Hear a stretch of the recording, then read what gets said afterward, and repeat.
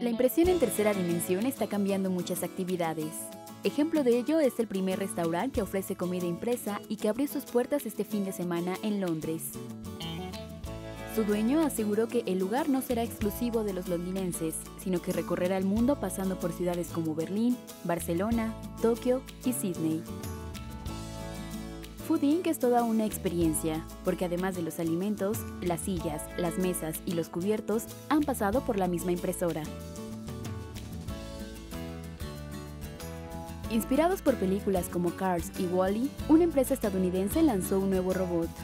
Cosmo funciona con sensores y motores, tiene capacidades visuales para reconocer los rostros y funciona con tecnología similar a la de un smartphone. Pero una peculiaridad es que la personalidad del microrobot es impulsada por inteligencia artificial, lo que le permite interactuar con el usuario, específicamente a jugar Quick Tap, en donde desafía a un jugador y si él pierde, lanza sus piezas, pero si gana, presume su resultado.